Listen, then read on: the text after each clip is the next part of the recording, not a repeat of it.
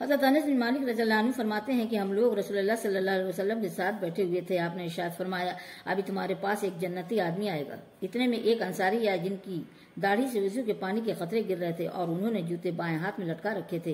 दूसरे दिन भी अलैहि वसल्लम ने वही बात फरमाई। और फिर वही अंसारी उसी हाल में आया जिस हाल में पहली मरतबा आए थे।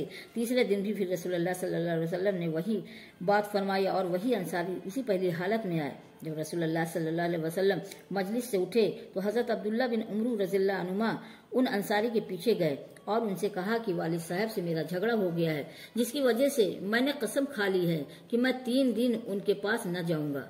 अगर आप मुनासिब समझें तो मुझे अपने यहाँ तीन दिन ठहरा लें।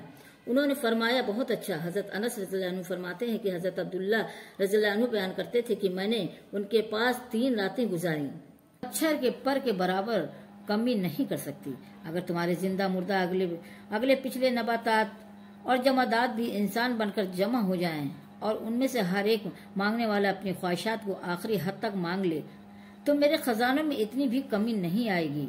जितनी तुम में से कोई समंदर के किनारे पर से गुजरे और उसमें सुई डुबोकर निकाल ले। ये इसलिए कि मैं बहुत सखी हूँ, बुजुर्गी वाला हूँ। मेरा देना सिर्फ़ कह देना है। मैं जब किसी चीज़ का इरादा करता हूँ तो उस चीज़ को कह देता हूँ कि हो जा। वो हो जाती है।